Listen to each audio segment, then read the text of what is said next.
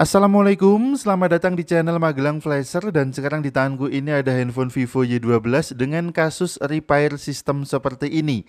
Sebetulnya kasus ini bisa kita atasi tanpa menggunakan komputer, cukup langsung kita klik aja menu download and installnya, kemudian handphone ini akan melakukan proses scanning WiFi di sekitar kita.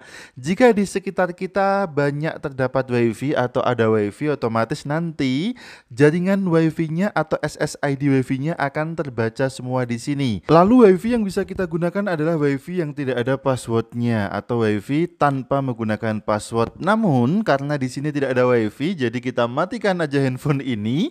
Kemudian kita akan atasi masalah ini menggunakan komputer dan tentu saja kita siapkan dulu kabel data sebelumnya. Langsung aja kabel data kita colokkan ke komputer dan kita sekarang bergabung dengan tampilan Windows kita. Sudah aku siapkan di sini tentu saja si tool sakti ada MTK GSM Sulteng versi 1.3.4 Ref2 full, langsung aja bisa kita ekstrak file ini. Klik kanan ekstrak di sini dan untuk password ekstraknya adalah Magelang Flasher, huruf kecil semua tanpa spasi. Kemudian kalau sudah kita ketikkan password ekstraknya, kita klik OK aja, kita tunggu sampai proses ekstraknya selesai. Lalu bisa kita buka folder hasil ekstraknya dan kita jalankan file dengan nama MTK GSM Sulteng V1.3.4 Ref2 exe untuk menjalankan menggunakan toolnya. Tinggal kita double klik saja sampai toolnya berjalan. Kemudian kita bisa install driver terlebih dahulu. Klik menu install driver di sini dan kita tunggu sampai proses installing drivernya selesai. Selanjutnya masuk ke menu Vivo dan kita cari seri Vivo Y12 ini dia. Kemudian kalau sudah kita pilih serinya di sebelah kanan bawah kita pilih menu format factory. Kemudian kalau sudah kita pilih format factory, kita klik aja menu execute-nya sampai muncul keterangan waiting for device connection. Kita hubungkan handphone ini ke komputer dengan cara kita tekan dan tahan tombol volume atas dan tombol volume bawah. Kedua tombol ini kita tekan dan tahan sambil menekan dan menahan kedua tombol. Kita colokkan aja kabel data ke handphonenya dan kita tunggu sampai handphone ini terbaca oleh toolnya. Kemudian lepaskan untuk menekan kedua tombol volume kalau handphone sudah terbaca dan ini dia Prosesnya cukup cepat saja. Sudah langsung muncul keterangan all is done yang artinya proses repair sistemnya sudah selesai. Bisa kita kembali ke handphonenya dulu untuk kita nyalakan karena handphone ini tidak menyala otomatis.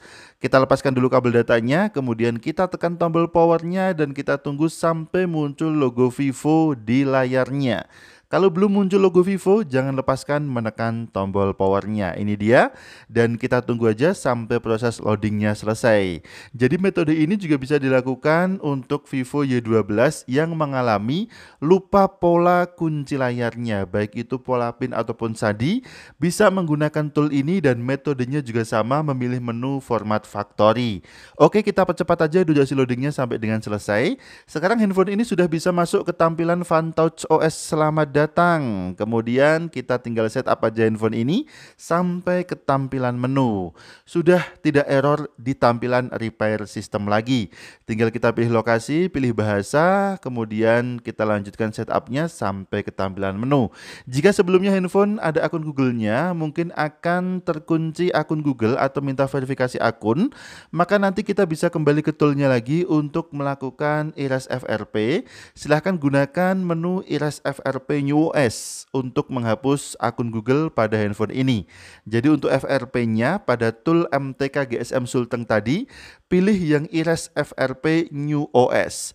Kebetulan untuk handphone ini tampaknya tidak ada proteksi akun Google-nya, jadi bisa kita setup handphone ini sampai ke tampilan menu. Untuk proses mengatasi repair system pada Vivo Y12 menggunakan komputer kemudian menggunakan tool MTK GSM Sulteng ini sangat cepat, berbeda ketika kita menggunakan jaringan WiFi, kemudian mendownload filenya, maka prosesnya bisa sangat lama.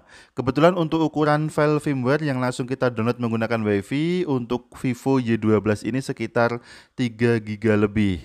Jadi sebaiknya bagi teman-teman yang ingin cepat gunakan komputer saja, kemudian kita format menggunakan tool MTK GSM Sulteng tanpa harus mendownload full firmware menggunakan WiFi. Oke, terima kasih sudah menyimak video ini. Mudah-mudahan bermanfaat. Sampai jumpa di video selanjutnya dari channel Magelang Flasher.